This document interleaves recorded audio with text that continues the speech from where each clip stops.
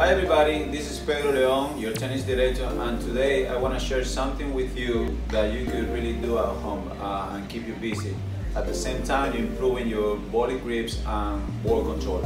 Okay, first of all, you're gonna get your racket and you're gonna get a full continental grip with your racket. You're gonna treat your racket like if you are um, hammering a neon.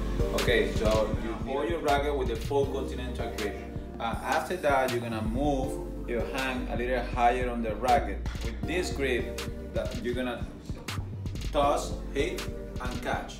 So toss the ball, hit, and catch. You just have to make sure that when you hit, try to create a backspin After you master this way, then you just turn the racket to the other side and you try to do it from the other side.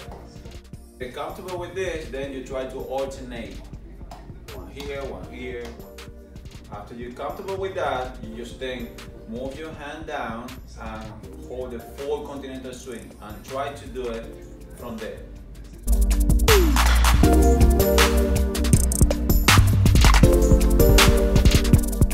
Okay everybody, I, ho I hope you like this exercise and get some benefits out of it. Have a good day and stay safe.